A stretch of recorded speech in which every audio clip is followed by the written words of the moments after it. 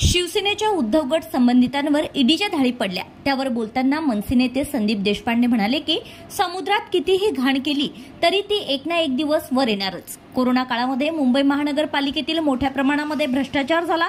कामाची अनियमितता झाली होती. महापौरांनी आणि शिवसैनिकांनी मोठ्या प्रमाणात कामे घेऊन त्याची कमिशन आणि टक्केवारी घेण्यात आली.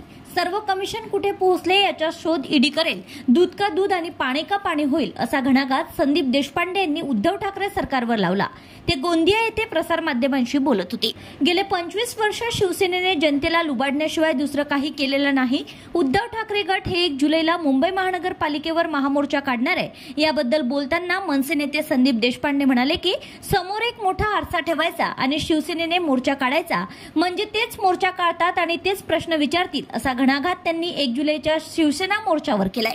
उद्धव ठाकरे गटाचे संजय राऊत आणि भाजपचे नितेश राणे रोज सकाळी उठून एकमेकांवर आरोप प्रत्यारोप करतात की सामान्य माणसांचे प्रश्न हे अतिशय महत्त्वाचे आहेत. आरोप किंवा प्रत्यारोप करून सर्वसामान्य जनतेचे प्रश्नही सुटणार नाही. त्यामुळे ते काय बोलतात त्यांच्याकडे कोणाचंही महाराष्ट्राच्या जनतेचं लक्ष राहत नाही असा टोला यांनी संजय राऊत आणि नितेश राणे यांना लावलाय.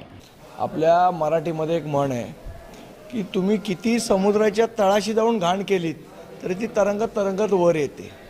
करोनाच्या काळामध्ये महाराष्ट्र नवनिर्माण सेना सातत्याने हे सांगत होते की कशा प्रकारचा भ्रष्टाचार होतो आहे मग त्यांच्या महापौर किशोरी पेडणेकर असतील नाहीतर त्यांचे अधिकारी असतील त्यावेळेला प्रचंड प्रमाणात जे शिवसेनेचे कार्यकर्ते होते त्यांना अनियमित पद्धतीने कंत्राटं देण्यात आली.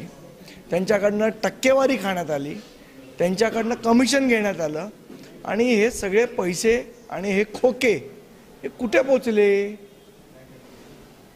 मला असं वाटतं ह्याचा शोध ईडी तपास करेल आणि दूध का दूध आणि पाणी का पाणी होईल.